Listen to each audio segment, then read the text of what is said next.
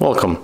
In this video I'm going to show you how we can transfer data from Huawei Y6 2019 to other Android smartphone. So at the first uh, we had to go for the Play Store and get application to transfer data and I can recommend you application named CLONEit. So let's type the CLONEit and install this application.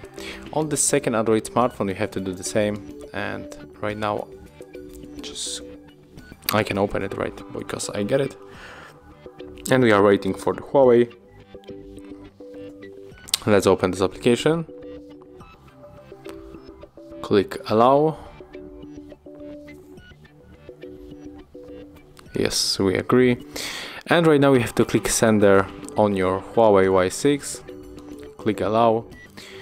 If you get any request for the permission you have to accept all of them right click receiver on, on your Android phone tap set turn on location go back and click receiver one more time hit search again button Right now, if you got here the Android share icon, you have to tap on it, so just wait until it pop-ups.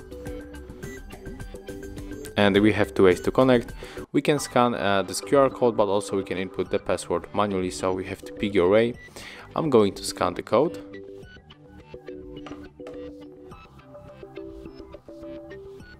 Accept the request. And right now, if you want to send all of the data to your Android phone, you have to accept all of this all of these uh, icons and then just click start.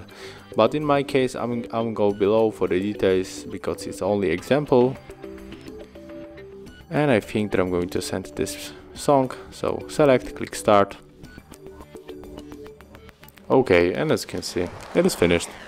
So that's how it looks. Thank you guys for watching leave thumbs ups comments and subscribe to our channel